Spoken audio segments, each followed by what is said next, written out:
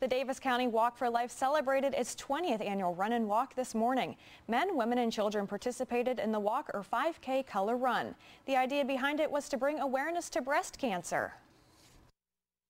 Funds that are raised by Davis County Walk for Life all stay here in the community in Bloomfield. Um, they raise them to provide mammography services to those that are underinsured or uninsured.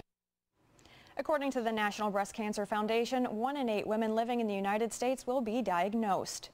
And